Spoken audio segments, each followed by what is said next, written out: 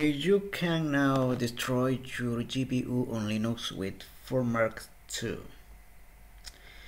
Uh, FurMark is one of the most popular GPU stress tests out there, and it has claimed its fair share of broken units after pushing them to their breaking point. Now, uh, 16 years after the app was released, the developer has released FurMark 2 for the public to enjoy. This app adds compatibility for both Windows 64-bit uh, and Linux machines, meaning you can test even more GPUs than ever before.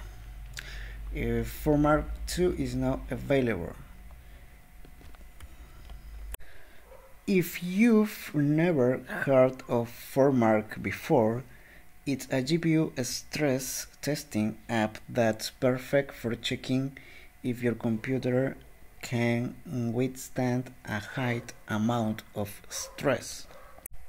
It got its name because it renders a donut shape covered in fur, specially designed to drive a GPU to high operating temperatures.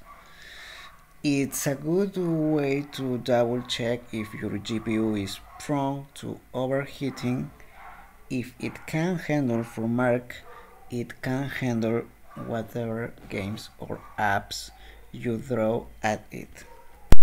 Veterans of FurMark will find some brand new features added to the mix. For one, the fluffy uh, donut is finally getting a brother.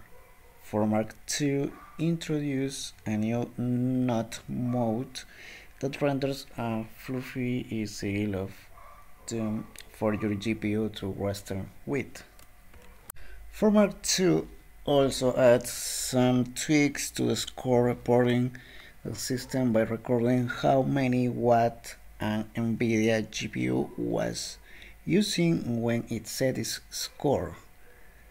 However, if you are not interested in all these changes, FurMark 2 still keeps the same familiar elements that made the first version so popular. Just be sure to have a list of the best GPUs on hand in case something bad happens to your own.